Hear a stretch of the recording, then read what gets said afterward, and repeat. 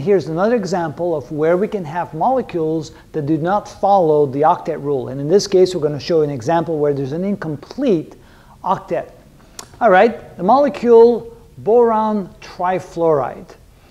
Well, boron is the least electronegative, so that would be the central atom, and then of course the fluorine atoms will cluster around it. So we'll probably end up with something that looks like this. Boron with three fluorines, like that. Notice that the fluorine uh, atom has seven valence electrons, so they only need to make one bond, so that looks pretty good. Boron has three valence electrons, which means it has three electrons available to make those bonds, so it looks like a fairly good arrangement here. It has three electrons, makes three bonds, each fluorine needs one electron to form an, an octet, so let's draw the other valence electrons in there. So it looks like all three of the fluorines are pretty happy.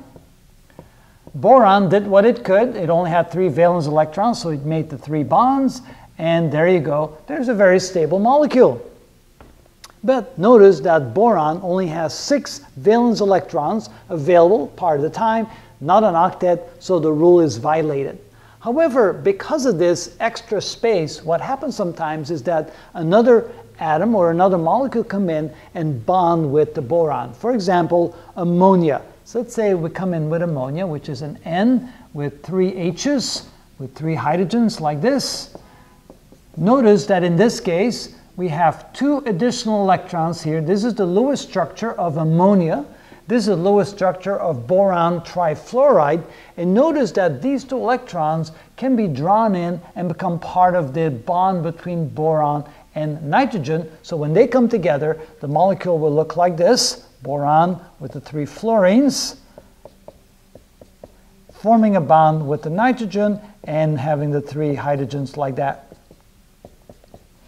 And so now you can see that it will leave itself to a bonding with something that looks like ammonia and it forms a stable molecule like that. But this molecule by itself is totally happy it doesn't have to make the bond, it just makes it possible to make an additional bond like that because these two valence electrons are not there, so it can draw in the two valence electrons of another molecule like that. But to give you an idea that this is a perfectly happy molecule, boron trifluoride, without the octet rule being followed for every one of the atoms in that molecule.